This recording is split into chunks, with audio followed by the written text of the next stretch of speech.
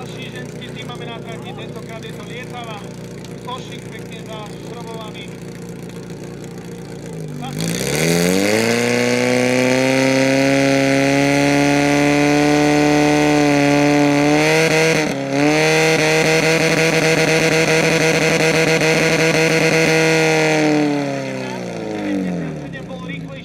ten pomalší na ľavej strane 21.83.